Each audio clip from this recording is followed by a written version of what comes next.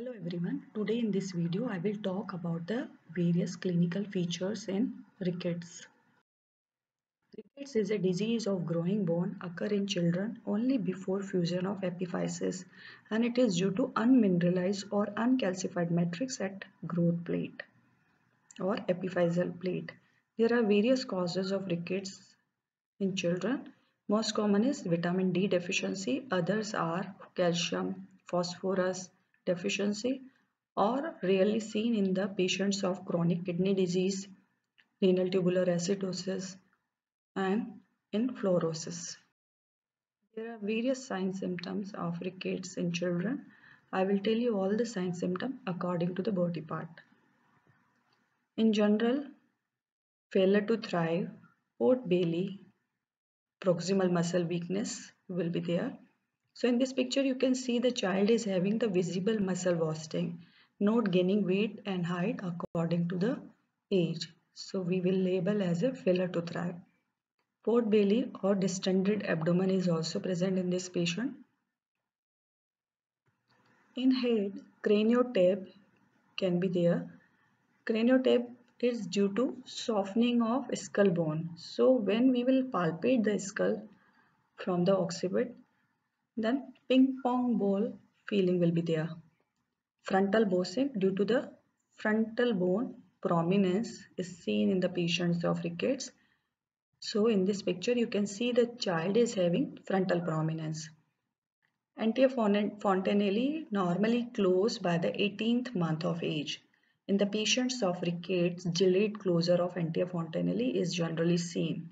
So this is again characteristic delayed dentition if no tooth is erupted by the age of 13 months we label as a delayed dentition and common causes rickets and dental caries can be there and rarely craniosynostosis can be the feature of rickets. Due to the frontal prominence and flat occiput, shape of the skull is just like a square shape we label as a caput quadratum. And due to the prominence of skull suture lines, uh, skull is look like a hot cross bun appearance. In chest, rachitic rosary due to the prominence of costochondral junction of the ribs. So in this picture you can see the child is having the round shape rachitic rosary. We have to differentiate rachitic rosary from the scorbutic rosary which is seen in the patient of scurvy. The shape of the rosary in rickets is round RR while in the scurvy shape is sharp angulated. So S for scurvy, S for scorbutic and S for sharp you can easily remember. Harrison groove is the indentation of the diaphragm, also characteristically seen in the patients of rickets. Shape of the chest is just like a pigeon chest or we can say pectus carinatum. It is due to the prominence of sternum and ribs.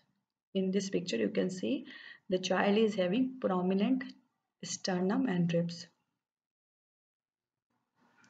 In back, scoliosis, kyphosis, lordosis can be the presentation due to rickets. In extremities, enlargement of wrist and ankle is the classical feature of the rickets. It is due to the enlargement or widening of the growth plate and widening of metaphysis. This is a classical feature of rickets. Coxa vara is the deformity of the hip can be seen in the rickets. Knock knee valgus deformity of the knee joint in which knee joint will touch each other. So gap between the knee joint and standing position will be reduced. Bow legs that is due to the varus deformity also known as genu varum. In this knee will be far apart. If the patient is having valgus deformity in one leg as seen in this picture and varus deformity in other leg known as wind swept deformity. Due to the hypocalcemia, infant can develop the tetanic spasm, seizures or stridor due to the laryngeal spasm.